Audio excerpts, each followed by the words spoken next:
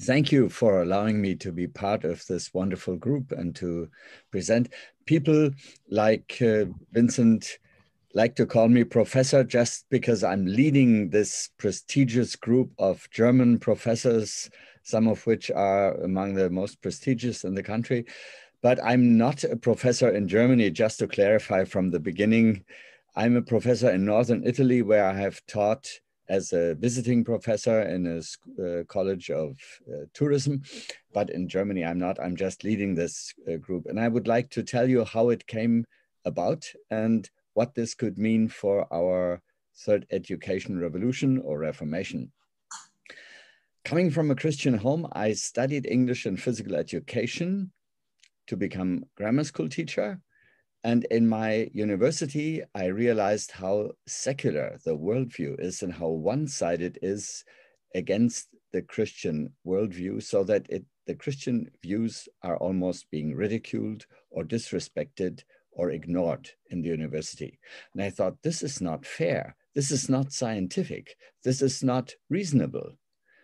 And God used this experience as a student to call me into full time service with the Campus Crusade for Christ as a student missionary. So, for the next 20 years after my graduation, I worked with campus, leading some students to Christ and discipling them in their personal life. But the vision that God had given me was bigger than just leading students to Christ. It was a change in the educational system, in its spiritual and intellectual setup. So after 20 years, God spoke to me again and asked me, Is this really the best of what you could do to help change the university? Leading individual students to Christ. They leave university after five years and go to business or what. Some may stay in university, but God made me quite unrestful and He pointed my direction to the professors because professors are the ones who stay in university and they shape university. They are the guys who are responsible for the educational system. So, thinking about this for a while, I thought, what do we need? We need something like an orchestra where the professors who are individualists. They are in Germany, they are the individualists of the nation. Everyone is trying to build his career, to become famous, to write as many papers as possible. To bring these individualists from solo singers into orchestra players who together would raise their voices for the Christian worldview, showing that it's the best way into the future. I talked to this to everyone I could get hold of uh, as to professors. And after a year, I had 160 addresses together personal visits, phone calls, letters. That was in the 90s. And then they agreed we need to start a symposium and uh, get together to share Christian worldview and this is what we did for the next eight years. And it was great when mathematicians, pedagogues, philosophers, biologists, all Christians would come together to share their uh, worldview to these topics. And after eight years, we felt God was leading us to a further stage where we also invited non Christians, atheists, agnostics to present their worldview and have a Christian uh, present his worldview, and the two debate and discuss, and then the whole plenary discuss. This was uh, happening for over 10 years in Regensburg and has built us a little bit of a fame in the country that Christians are addressing worldview and they are able to talk on eye level with atheists and non Christians, present their cause, and they are really seeking for the truth and respecting other opinions and giving others the tolerance to express theirs, which is no longer self evident in universities right now. If you read the media, we have so many reports of truth suppressed and uh, mainstream opinion supported and all of this. But with this forum of professors, we have created a platform where Christian professors can connect and they are seeing that they are not alone and individuals like many feel oh i'm alone no one else is there this elijah complex mm-hmm. when god had to show him there are 700 others who have not given up the faith who are not unfaithful when Elijah thought he was the only one left in the country. Uh, that's a very important effect for professors to see that others are there who are on the same course with them. They are followers of God.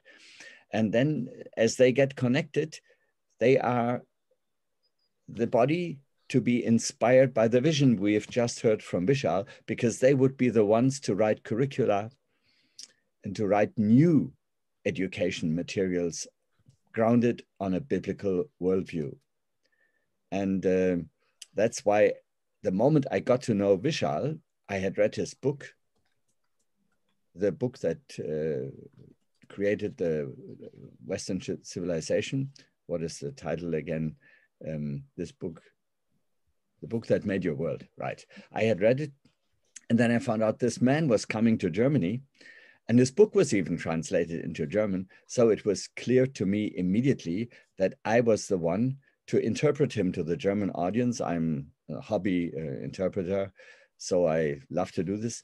And for five years, we toured Germany from the Gideon's annual conference to the leadership conference two small conferences. We presented about 160 different locations and audiences and made him known in Germany.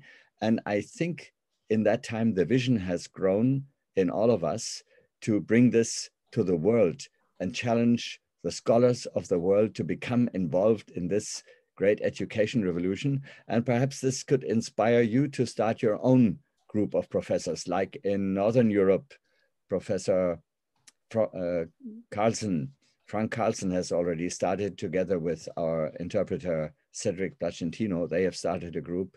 And this is, I think that the time is ripe. It's God's kairos for professors to get together and become involved in this third education revolution. Thank you for being allowed to present this. And I wish that God will inspire you and give you a great vision to trust Him for much more than you have ever seen or dreamt or envisioned in all of your life, like Vishal has concluded his message. I feel very privileged to work with you and to work with him. God bless you.